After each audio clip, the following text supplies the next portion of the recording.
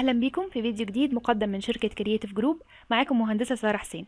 في الفيديو اللي فات اتكلمنا عن interface برنامج Adobe Illustrator واتكلمنا عن ال control panel وقلنا إن ال control panel بتتغير عندي من كل أداة للتانية عندي في ال tools bar طيب أنا دلوقتي واقفة عند ال selection tool مثلا بالمنظر ده. طيب إيه الجزء اللي بيتغير في ال control panel وإيه الجزء اللي بيفضل ثابت؟ الجزء اللي بيفضل عندي ثابت في معظم الأدوات من الجزء ده كده لغاية style يعني مثلا لو جيت وقفت على type tool هنلاحظ إن لغاية style الجزء ده بيفضل ثابت عندي والجزء ده بس اللي بيبتدي يزيد فيه icons زيادة. لو جينا وقفنا كده على ال selection tool هنلاحظ إيه كمان عندي هنا في ال control panel إن في عندي جزء هنا مكتوب عليه no selection يعني إيه الكلام ده؟ يعني أنا مثلا لو جيت دلوقتي رسمت rectangle بالمنظر ده كده وبالتالي هو عليه selection فهيجي في الجزء ده يقولك إن أنت عامل selection على rectangle طب تعالى نجرب حاجة تانية كده.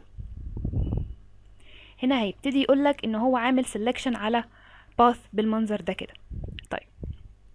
Select all ونعمل delete. كمان عندي الجزء ده أنا أقدر أعمل customize لمكان ال control panel نفسها. يعني ممكن آخد ال control panel كده وأتحرك بيها في أي مكان. زي ما إحنا شايفين كده. أقدر تاني أرجعها لغاية لما الخط الأزرق ده يبان. هترجع مكانها. أقدر آجي من هنا. إحنا هنا عاملين لها dock to top ممكن أعمل لها dock to bottom بالمنظر ده أقدر أرجعها تاني أعمل لها dock top. زي ما إحنا شايفين كده. هلاقي عندي بعض ال icon اللي ليها لون orange كده بالمنظر ده. أقدر إن أنا أفتح من هنا كده ال opacity أو أقدر أدوس على كلمة opacity نفسها هيظهر لك ال panel بتاعتها. ومثلا أقدر أوصل لل stroke ال panel بتاعتها من هنا على طول من غير ما آجي هنا على ال stroke من ال panels اللي على الجنب دي. طيب لو أنا عايزة أعمل customize لل workspace بتاعتي شكلها كده أنا مش عايزة أشتغل فيه بالمنظر ده. لو جينا فتحنا ال panels عندي هنا عملنا لها expand ومثلا عايزة أشيل ال color guide ده هتبتدي إن أنت تسحبها لبره كده ونيجي من هنا ونعمل لها close ال color theme أقدر برضو إن أنا أشيلها. بالمنظر ده ممكن أمسك libraries وأبتدي إن أنا أشيلها. ممكن أصغر وأكبر في حجم ال panels عندي.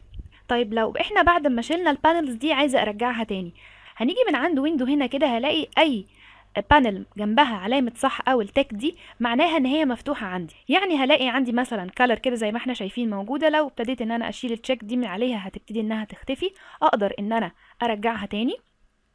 زي ما إحنا شايفين ارجع color تاني. طيب لو جيت من عند window قلت له افتح لي مثلا ال align أنا هشتغل بال align زي ما إحنا شايفين بالمنظر ده كده بيبتدي إن هو يفتح لك align مع transform طيب أنا مش عايزة أبتدي أتنقل بين ال tabs كده بالمنظر ده. تعالوا كمان نفتح مع بعض window عايزين نفتح ال pathfinder بالمنظر ده كده.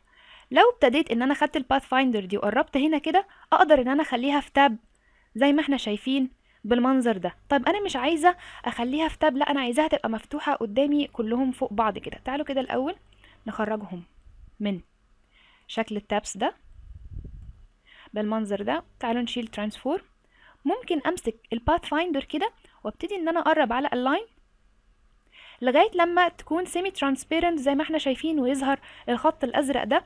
أنا كده حطيتهم هما الاثنين في group بس ما بقاش على شكل tabs أقدر إن أنا أخدهم.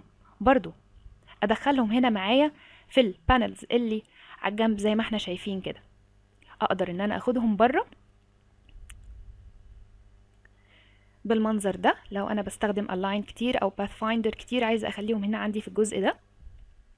برضو عندي ال tools bar أقدر إن أنا أخليها double column زي ما إحنا شايفين أو single column بالمنظر ده. بس لو خليتها single column هلاقي إن أنا فقدت بعض الأدوات عشان ال resolution بتاع الشاشة فهنخليها double كده زي ما إحنا شغالين. طيب أنا دلوقتي واقفة على workspace اسمها essentials. أنا لو خرجت من البرنامج ودخلت تاني هلاقي إن أنا ال customization اللي أنا عملته في شكل ال interface عندي ده هيتغير. طب أنا إزاي أحافظ على شكل ال interface ده وأقدر أرجع له في أي وقت تاني؟ هنيجي من عند essentials هنا أو من عند ال workspaces هبتدي إن أنا أعمل new workspace هيبتدي يطلع لك ال name يعني مثلا هنسميه سارة. ودوس okay. هتلاقي إن أنت بقى عندك workspace اسمها سارة.